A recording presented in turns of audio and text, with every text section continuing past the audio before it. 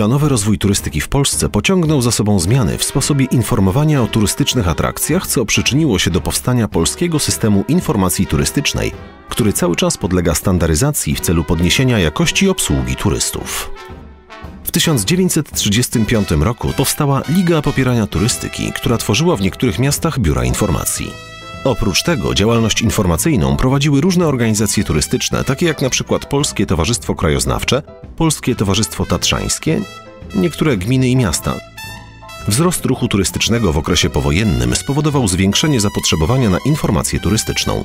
W 1963 roku Główny Komitet Kultury Fizycznej i Turystyki określił zakres obowiązków informatorów turystycznych oraz strukturę organizacyjną systemu informacji turystycznej, która obejmowała Centralny Ośrodek Informacji Turystycznej, wojewódzkie i regionalne ośrodki informacji turystycznej oraz punkty informacji turystycznej w biurach podróży, hotelach, domach kultury, muzeach, obiektach sportowych.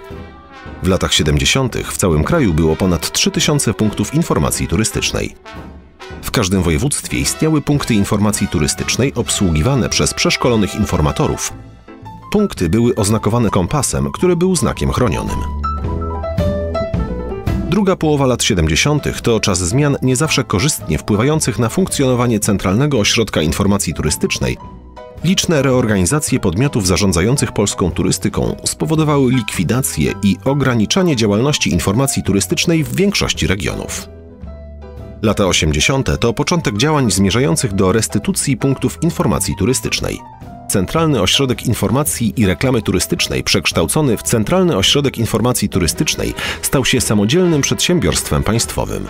Zostały utworzone, mające zasięg wojewódzki, oddziały i podległe im centra informacji turystycznej. Kolejne zmiany w funkcjonowaniu systemu informacji turystycznej były wynikiem zmian ustrojowych w Polsce, które oprócz uwolnienia gospodarki przyniosły również do Polski wiele innowacyjnych rozwiązań technologicznych.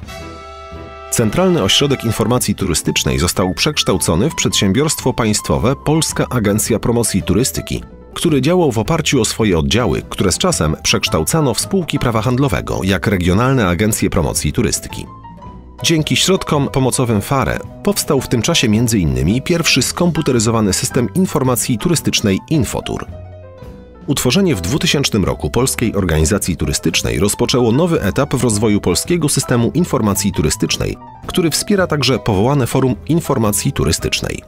We współpracy z placówkami informacji turystycznej, regionalnymi organizacjami turystycznymi wprowadzono jednolite oznakowanie placówek informacji turystycznej.